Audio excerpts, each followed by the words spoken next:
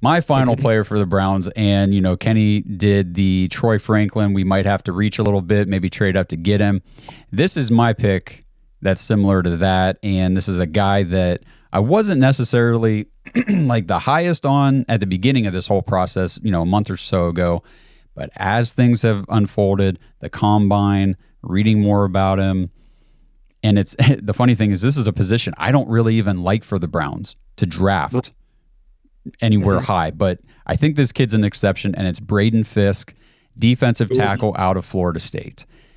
He is six foot four, 292 pounds, a little bit on the lighter side, but he has a high, high motor, good run defender, good pass rusher. So to find a defensive tackle who can be very, very good at both of those things, it's not easy to do. And if the Browns can find an offensive lineman like Javion Cohen in the third. Maybe they grab Malik Washington later in the fourth or so. Braden Fiske is on the board at the second round or anywhere close to where they're picking in the second round. They can move up a little bit to get him, kind of like they did with JOK. I think you go get him. This dude knows how to use his explosive first step to push back blockers, establish the line of scrimmage. He's got great power, great strength in his hands. He uses that for effective rip club moves. Um, he I've been all the scout. He's he's an excellent gap penetrator. He gets upfield and he disrupts the backfield. Again, he uses great hand power, moves to rush the quarterback. He's got above average lateral movement, allows him to redirect and maintain pursuit and pressure against mobile quarterbacks. Very important because we've got Lamar Jackson in the division. Now we've got Russell Wilson and Justin Fields, and Joe Burrow yeah. can move too whenever he needs to. So a guy like Braden Fiske who can quickly redirect, maintain pursuit, and track down these mobile quarterbacks, that's going to be key. It really is. Now, some yep. of the things they say he needs to work on his pad height level during some plays that can allow offensive linemen to gain leverage on him. He's super aggressive when he's penetrating and getting into the backfield, but it also he needs to harness that a little bit. That negates some situations where he just straight up blows by players in the backfield. But I think it's easier to coach discipline and harnessing a player's aggressiveness than it is to teach a player to be aggressive, wouldn't you say?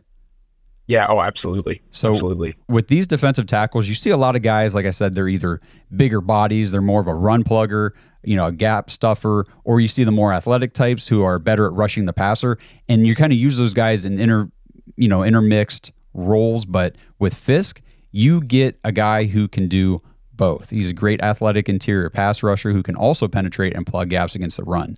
He had six sacks in 2023, eight in 2022, 21 tackle for loss in his last two seasons combined.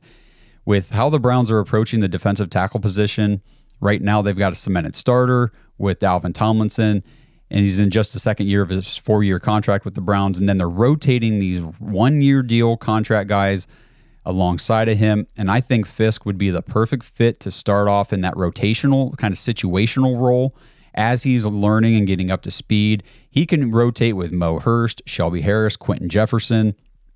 I I hate projecting cap stuff too far ahead, but if you get a guy like Braden Fiske and he proves that he can be an every down type of player, there is cap relief to be recouped down the road if the Browns would decide to move on from Dalvin Tomlinson later you know, in his age 32 season or whenever, not this year, obviously, maybe not next year, but eventually.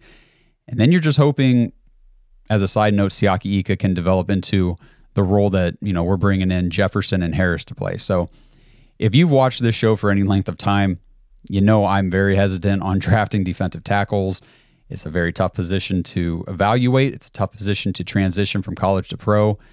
In college, you know, sometimes you're facing a team that doesn't have any of their offensive linemen who are going to go pro. And sometimes you go up against maybe one or two pro potential offensive linemen. But in the NFL, you are facing all guys who are pro level talent. And that's where players at the defensive tackle position struggle because you can't just very easily do what you did well in college and just have the same success. So there's definitely a learning curve. But Braden Fiske seems like the kind of player, his demeanor, his mental makeup, his attitude, his aggressiveness, speed, athleticism, strength. Those things could all combine to make him a very, very good defender at the NFL level. Yeah, when I hear you talk about him, I hear Jim Schwartz just go like I can hear him pumpernickel. He's just like, mm-hmm. yes, yep. He's, the other thing that I kind of hear is ultimately when we were speaking about Perrion Winfrey before we drafted him, and minus the attitude issues, it was a lot of the same thing. And uh, a slighter player that could pass rush, that play the defensive uh, tackle position. So I would really like that to recoup that loss that we unfortunately had to cut him, and um, uh, have that guy in in our back pocket for these. Um, uh, what do they call them? The Jaguar packages uh, where we have like guys that can rush the passer on third down. Like I think that would be an awesome mm-hmm. fit. And then, like you said, let's see if he can progress and get a, a full time starter. Yeah, definitely. And honestly, this just everything I've read about him, watched and, and listened to scouts and all that stuff, he just feels to me like the type of player who can come in. It might start off a little slow, you know, his rookie season as things go, but by the end of the season, might be in a 75% roll, you know, snap count roll on the on the defensive side of the ball because I, I think he's I think he's going to be very good. I just I get good vibes from him. There's not a lot of defensive tackles that I research and look into and scout that I come away saying, "Oh yeah, I can see the path for this guy to be a Pro Bowl level talent." But this guy, I think this guy's got Pro Bowl level talent built in. I really do. Does, does he like there was a guy Carlton Fisk? Is that is that are they related in some way? Does he have any NFL pedigree? I'm not sure. I'll, i can look that up real quick. Yeah, because like I mean, if everybody wants to know, I pulled up last year's uh, list of who we met at the combine, and the guys that doubled up are here. So we doubled up post and after their pro days. Uh, so Dawand Jones, we drafted him. Dorian Thompson, we drafted him, and then uh, we also did oh Tank Dell. And Tank Dell's a guy that we didn't get. And I like the I like the mm. pick of uh, Malik Washington, man. That sounds like something like boy oh boy, like that. We didn't get him last uh, Tank Dell last year, but we could get a player like that this year. That one I think sticks out to me the most uh, from your three guys.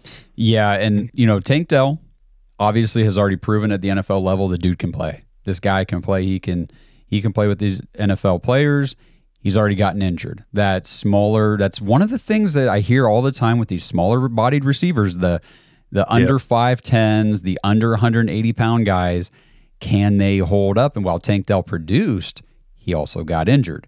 Now we've got sub 5'10 Malik Washington, but he's 190 pounds. And you got to think he comes in, he puts on maybe a little bit more muscle in an NFL training program. Maybe he gets a little closer to that 200 pounds. I'm not so concerned about the five eight. It's the fact that he can. I've seen. Go watch the highlights, guys, if you haven't. He takes hits, and he, if he if he gets tackled and taken down like on a hard hit, bounces right back up. Number one. Number two, he gets smashed a lot by guys and stays on his freaking feet and keeps going. It is pretty cool to watch him play. You know what? Based on what you're saying, we're going to call half the nickname him Tank. Yeah, I think Tank if would be better him. for him. Yeah. but and no, Carlton Fisk and Braden Fiske are not related. Their last last names are not spelled the same. So. Oh, gotcha. Okay. I was wondering. I, th- I threw that was kind of like a, a, shot in the dark. Braden Fiske has an E at the end of his Fisk. Oh, okay. Gotcha. Yeah, gotcha. It, it, stands for elite level potential. In my gotcha. yes. yeah, man.